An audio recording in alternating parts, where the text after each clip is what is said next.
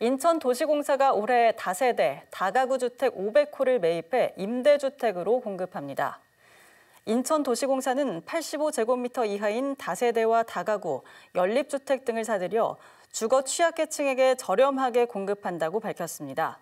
특히 청년과 신혼부부를 위한 임대주택은 교통이 편리한 역세권 지역 위주로 매입할 계획입니다. 매입 임대주택 사업과 관련한 세부 사항은 인천도시공사 홈페이지를 참고하면 됩니다.